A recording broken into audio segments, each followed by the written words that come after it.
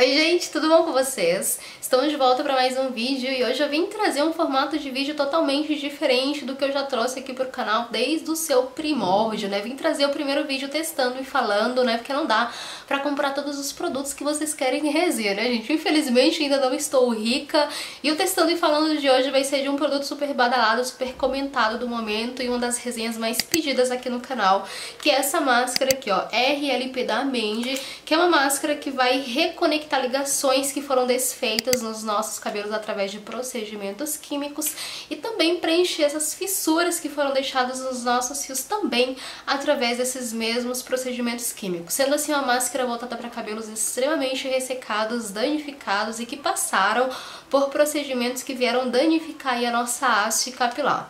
Hoje então eu vou falar um pouquinho só sobre as propriedades dessa máscara, né, a promessa que ela tem para os nossos fios e nós vamos ver em primeiríssima mão, né, o que eu acho a respeito desse produto, se eu acho que vale, que é um produto que vale a pena investir ou não, de acordo, claro, com a primeira aplicação que eu vou fazer aí no meu cabelo. Se tu gosta desse tipo de vídeo, eu vou te pedindo no início do vídeo para deixar aquele joinha maroto que ajuda demais a divulgar o vídeo, ajuda demais no crescimento do canal. Se tu é novo, né, chegou aqui agora agora, seja muito bem-vindo. Inscreva-se para ver os outros vídeos que serão postados por aqui e vamos lá conferir o vídeo de hoje. Então, né, gente, quem acompanha aqui o canal sabe que eu sempre testo muito, mas muito mesmo um produto antes de trazer resenha aqui, porque eu levo muito a sério essa coisa de recomendar ou não recomendar um produto de acordo com o meu gosto pessoal, mas ainda assim eu levo muito a sério mesmo. Hoje vai ser o primeiro vídeo que eu vou fazer um testando e falando com essas, com essas duas, não, vou utilizar somente uma máscara. Eu tenho duas amostras, vou utilizar somente uma. Cada amostra vem com 10 gramas, que é a quantidade que eu realmente utilizo pra fazer a aplicação aí nos meus fios. Eu já estou aqui com os meus cabelos devidamente higienizados, tá? Lavei com um shampoozinho que eu tenho aqui em casa, não utilizei o shampoo da linha porque, né, filho, só ganhei a amostra da máscara. Vou separar mechas e vamos então fazer a aplicação. Eu retirei bem o excesso de água com a toalha. Essa parte aqui do meu cabelo que é mais fininha, ela vai secando mais rapidamente, ó. Faz pouquíssimo tempo que eu lavei o meu cabelo e essa partezinha aqui já tá secando bem rapidamente mesmo. Então, vamos fazer aqui, né, a divisão do cabelo. Vou pegar aqui. Como eu falei pra vocês, ela é uma máscara voltada para cabelos quimicamente tratados, né? Quando o nosso cabelo sofre agressões, as ligações presentes na queratina do nosso fio, elas são, algumas ligações são desfeitas, também são deixados alguns buraquinhos no nosso cabelo, né? Botar aqui entre aspas.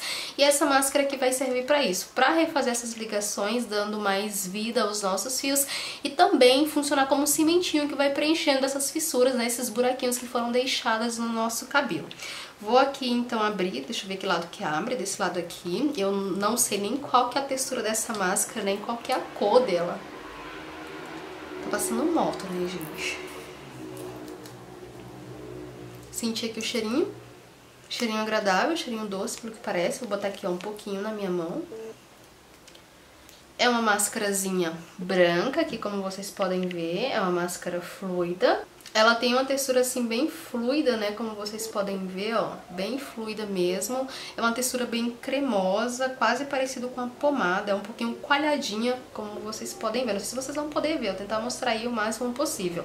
O cheiro é bem suave, tem um cheiro meio que de perfuminho, né? Deixa eu iluvar aqui. Ela é bem cremosinha mesmo, não é nem um pouco pastosa não, desliza muito bem, né? Ela, pelo jeito ela é bem emoliente. Vamos aplicar então aqui no cabelo, ver qual que é, né? A primeira impressão.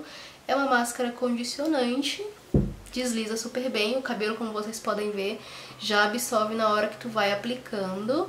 E ela parece ser uma máscara bem condicionante mesmo, tá? Vai deixando o cabelo bem condicionado aí na hora da aplicação. Deixa eu aplicar aqui do outro lado.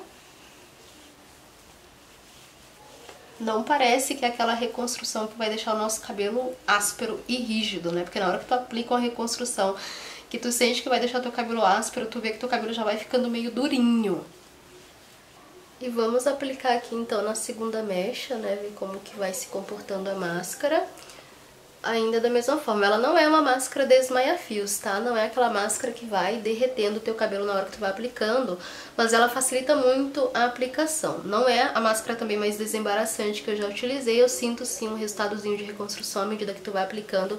Tu vê que o teu cabelo vai ficando com aquele, né, aquele aspectozinho um pouquinho rígido, mas nada muito exagerado, porque eu acho que ela balanceia muito bem a reconstrução à medida que tu vai aplicando, pelo menos, com a com o condicionamento, ó, como vocês podem ver. Amei o cheiro dessa máscara, gente. Tô apaixonada já pelo cheiro. Realmente muito bom. Espero que ele fixe bem aí no meu cabelo. Então, como eu falei pra vocês, ela é uma máscara liberada somente pra técnica de low poo, né? Tem silicones insolúveis aqui na composição dela. Ela não tem parabenos, tá bom? Se tu tem alergia, pode utilizar tranquilamente. E é uma máscara, ó, a princípio vem se mostrando uma máscara boa, mas vou confessar que pela aplicação não parece que vai ser uma máscara extremamente maravilhosa. O tempo de aplicação dela é somente de 13 minutos, é um tempo de ação que eu amo, eu acho que as máscaras mais potentes que eu tenho aqui em casa, que eu já utilizei no meu cabelo, possuem tempo de ação assim bem rápido, então eu acho que é uma coisa que realmente não pode faltar, né gente? Hoje em dia tem muita tecnologia para um produto conseguir agir muito bem no teu cabelo, fornecer um ótimo tratamento, um excelente tratamento em pouquinho tempo de ação. Sinto que é uma máscara condicionante, mas não sinto que é a máscara mais condicionante da face da galáxia, tá? Pelo menos não deixa o cabelo extremamente desmaiado, extremamente condicionado. Mas ela condiciona, sim, muito bem os fios. É uma máscara que dá pra aplicar tranquilamente aí no nosso cabelo. Se tem problema aí com embaraço dos fios, acho que ela também vai te ajudar muito, embora não seja a melhor pedida, né, na hora de desembaraçar os nossos fios. Eu vou deixar, então, a máscara agindo 13 minutos no meu cabelo, que é o tempo recomendado pelo fabricante. Depois eu vou enxaguar o meu cabelo e volto aqui pra gente finalizar o cabelo cabelo juntinhos né, e ver qual o resultado após a aplicação do produto e o tempo de pausa.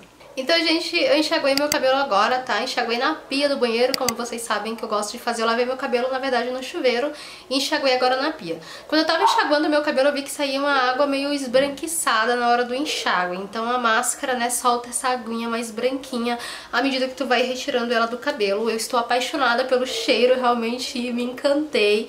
É um cheirinho muito, muito agradável mesmo. Não tem cheiro comum que a gente costuma ver nos produtos de cabelo. Vamos tirar então o excesso de água com a toalha. Na hora do... Ó, que lindo, maravilhoso, né? Beijos de luz pra vocês. Na hora que eu tava enxaguando a máscara do cabelo, eu já senti que o cabelo tá com um aspecto um pouquinho mais encorpado. Sabe aquele aspecto mais rígidozinho que o nosso cabelo fica? Quando a gente aplica algum tratamento reconstrutor, senti que ela tá mais ou menos assim. Como vocês podem ver, ó, não sei, vocês não podem ver a verdade, eu consigo sentir que a máscara tá com um pouquinho, né? Aquele aspecto um pouquinho áspero, vamos ver se esse aspecto também perdura aí no, nos nossos cabelos após a secagem dos nossos fios. Apesar dela estar tá com esse aspecto áspero, vocês podem ver que o cabelo desembaraça super bem, é uma máscara assim, bem condicionante, consegue fornecer um bom selamento aí para os nossos cabelos, nada muito excepcional, né? Nada muito aquela coisa que a gente diga, ó, oh, que maravilhoso, que selamento, mas é um selamento realmente muito bom, um condicionamento também muito bom para um tratamento reconstrutor.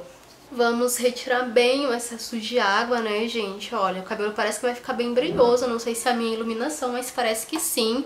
O finalizador que eu vou utilizar vai ser esse aqui também, da Mende, tá? Que é da linha Óleos Egípcios que é uma máscara, a linha, né, a máscara pelo menos foi o que eu testei no meu cabelo e esse aqui que é o Living que eu também testei no meu cabelo, são dois produtos que eu gosto bastante, que dão resultados assim superiores no nosso fio. Esse Living aqui, o detalhe é que quando eu tava utilizando ele no meu cabelo natural, não tinha curtido muito.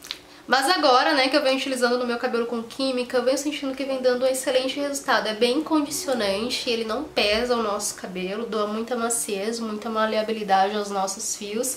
E eu acho que vai cair super bem com essa máscara que deixou o cabelo um pouquinho, né, um pouquinho de leve assim, mais áspero. É uma máscara que fortifica realmente bastante o nosso fio, tá? Eu sinto que o cabelo ficou com a espessura, um diâmetro um pouquinho mais encorpado do que ele tava. Porque eu tava numa semana de fazer extremas nutrições aí nos meus fios e tava realmente precisando já de uma reconstrução pra dar, né, aquela fortalecida aí no meu cabelo.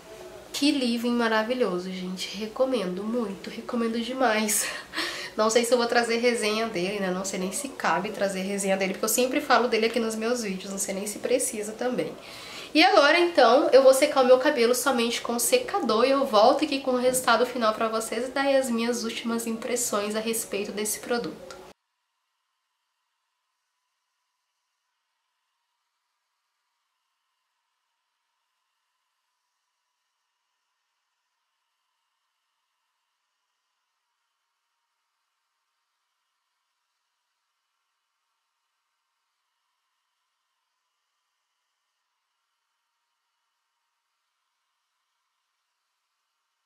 Então, gente, acabei de secar o meu cabelo somente com secador, sem escova, sem chapinha, né? Como eu sempre faço a minha finalização pra vocês.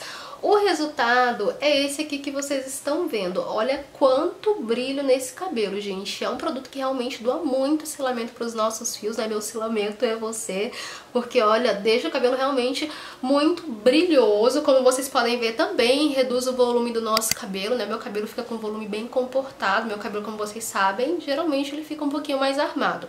Embora reduza o volume, não reduz as ondas, né? Nessa parte aqui, ó, que é a parte mais ondulada do meu cabelo, ainda ainda continua ondulado agora que eu acabei de secar os fios. À medida que o tempo vai passando, essa parte aqui também vai ficando um pouquinho menos ondulada. Mas, né, ó, como vocês podem ver, ainda está da mesma forma. Mas, de modo geral, consegue reduzir muito o volume, consegue reduzir o frizz, como vocês podem ver. Acho que dá pra ver que não tem frizz aí. Também doa muito brilho, deixa o cabelo com bastante balanço. Não é aquele cabelo que fica estático, que fica sem balanço, sem movimento, né? Que algumas reconstruções costumam deixar o nosso cabelo. Ó, olha só como ela deixa os nossos fios extremamente brilhosos, extremamente maleáveis. E também, embora deixe nosso cabelo maleável, eu sinto que deixa nosso cabelo com fio, com a espessura um pouquinho mais grossa, o que é uma coisa que eu não gosto muito, já que eu tenho a espessura natural do meu cabelo bem grossa, então quando eu sinto que alguma coisa deixa mais grossa, ainda é uma coisa que eu não curto muito, porque eu não sinto o cabelo tão macio assim, mas de qualquer forma não deixa o nosso cabelo áspero.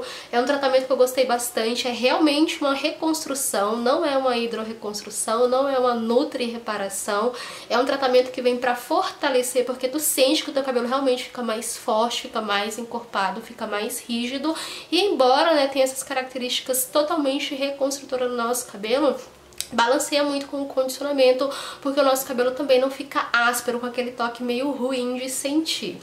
Então esse aqui é o resultado após secar, né? À medida que as horas forem passando, eu venho no finalzinho da noite mostrar o resultado pra vocês e venho amanhã no day after, né? Pra gente ver direitinho como a máscara se comporta no dia seguinte. Bom dia, gente! Cara mais linda do mundo aqui pra vocês. Hoje eu vim trazer então meu day after aí, né? Com a máscara. Eu não dormi com meu cabelo em coque, tá? Eu dormi, amarrei ele um coque mais aqui pra baixo, porque me incomoda às vezes.